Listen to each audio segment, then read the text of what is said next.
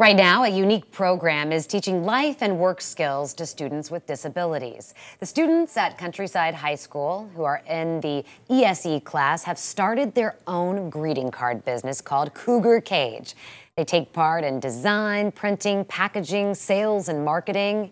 These students also get to receive vocational training that helps them live more independent lives while learning real world skills.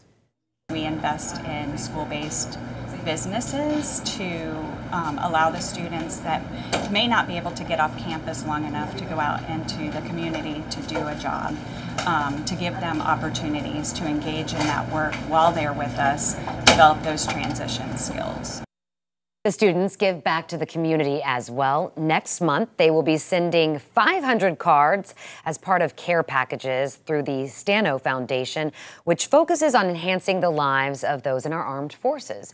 If you're interested in helping these students, you can check out their work at the ESE Career and College and Life Fair on May 3rd at Pinellas Technical College. That starts at 6 p.m.